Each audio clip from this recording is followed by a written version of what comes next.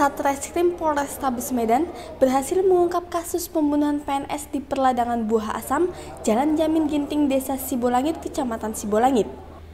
Tersangka merupakan istri korban yakni Khori Kumaladewi, warga Dusun 11 Ulu Brayan, Desa Aracondong, Kecamatan Stabat, Kabupaten Langkat serta salah seorang temannya yang masih dalam pencarian polisi yakni Ganda Winata alias Gandrung, warga Jalan Bersama Lingkungan 5, Kecamatan Stabat, Kabupaten Langkat. Ya, Bu.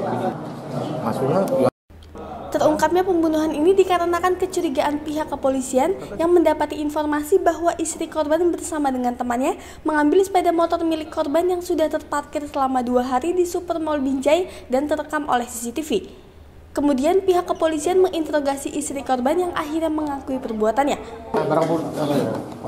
Di daerah Sibulangit, di Jalan Jamin Ginting, ya, di daerah wilayah Pancur Batu, Polrestabes Medan. Kita temukan di sana, setelah kita lakukan otopsi, ada tanda-tanda kekerasan. Hasil otopsi menunjukkan bahwa korban meninggal dunia karena kehabisan nafas. Setelah itu kita lakukan cek, kita identifikasi kita punya data sidik jari. Dari sidik jari muncul nama e, korban. Pelaku lainnya ialah merupakan supir. Saat itu korban bersama pelaku menyewa mobil Ayla berwarna putih.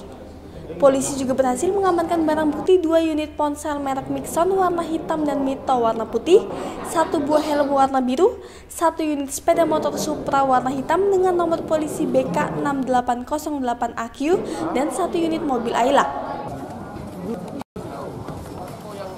Kini pelaku terancam hukuman penjara seumur hidup atau hukuman mati karena pembunuhan secara berencana.